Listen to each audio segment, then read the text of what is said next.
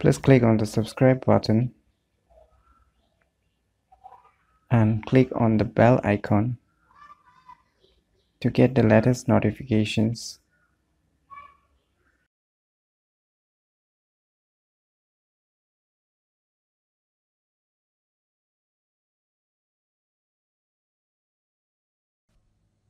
Hi and hello everyone, it's me Javi from Unique Tutorials.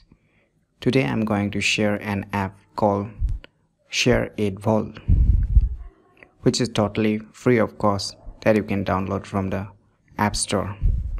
This app will let you hide your photos and videos. So without delay, let's begin. First, open App Store.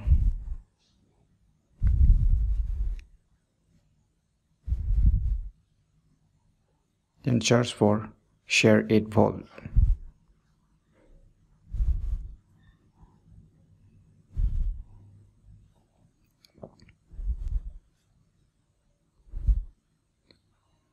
click on the get if you have not downloaded it earlier as I have been already downloaded earlier. So it's showing open. So once you download it click open so you need to set your first code when you will opening it for the first time. As I have already used it and set a 4 digit numeric first code. So once you unlock this you will see this layout. So click on this plus symbol.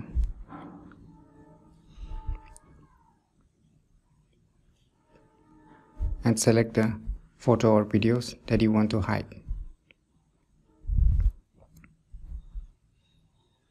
here you will see that once you click on the save to vault you will see here that one files have been kept in the vault delete the original files to save more space. You can also delete these files later system gallery. If you delete this, it will be deleted from your gallery, but it will be saved in the shared vault. So if you want to do it automatically, so click delete.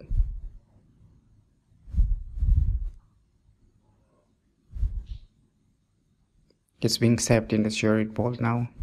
And you won't get it in gallery apps anymore or in the photos app anymore.